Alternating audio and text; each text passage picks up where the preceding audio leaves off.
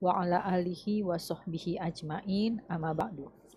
Sebelum memulai mari kita panjatkan puji dan rasa syukur hanya teruntuk Allah Subhanahu wa taala di mana nyawa kita berada dalam genggamannya. Dengan berkah, rahmat, karunia, dan nikmatnya, Alhamdulillah kita semua dapat kembali berkumpul bersama di kajian Sisesa hari ini. Dan semoga salawat dan salam senantiasa tercurah kepada sebaik-baik makhluk kasih Allah Muhammad Sallallahu Alaihi Wasallam dan kepada istri-istri, keluarga, para sahabatnya, serta para pengikutnya sampai akhir zaman. Amin ya robbal alamin. Alhamdulillah hari ini kita mendapat kesempatan untuk kembali menuntut ilmu langsung dari Gurunda Ustadz Dr. Safik Basalama Habizahullah Ta'ala. Apa kabar Ustadz? Alhamdulillah bi khairin Alhamdulillah. Insya Allah Ustadz dan keluarga selalu dalam keadaan sehat dan dalam lindungan Allah Subhanahu wa taala. Dan Barakallahu Fik Ustadz untuk bukunya dan kita akan bahas sekarang insya Allah ya Ustadz. Siap. Insya Allah bisa membantu umat untuk semakin memahami agama dan uh, kaidah Islam. Dan atas nama Sisesa, izinkan saya juga mengucapkan jasa kunul khair atas kehadiran Umahat di kajian Zoom ini. Sebelum memulai, mari bersama luruskan niat ikhlas mata mencari ilmu karena Allah. Dan persiapkan alat tulis untuk mencatat. Mohon aktifkan chat di Zoom untuk mendapatkan update berita dan silahkan mengirimkan pertanyaan melalui nomor WA yang tercantum di chat room mulai sekarang juga. Insya Allah akan dibacakan dan didahulukan yang sesuai dengan tema.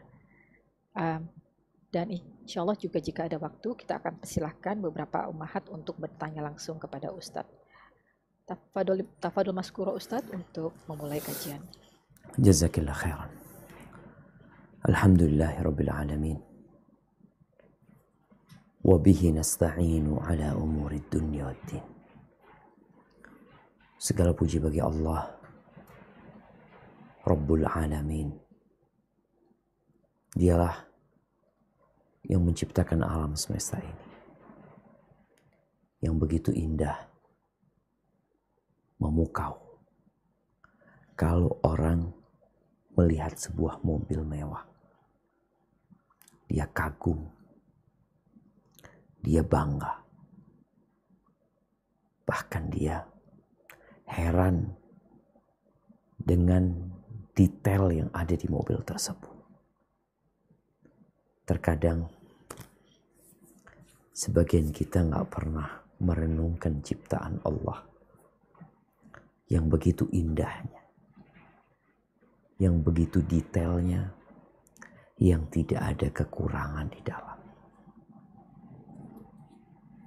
Maka sebagai seorang yang beriman kepada Allah dan hari akhir.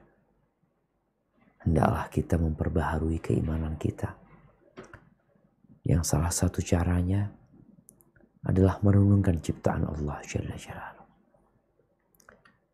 Kita berada di musim penghujan yang mulai sering kita melihat ada serangga-serangga yang berterbangan di lampu rumah kita.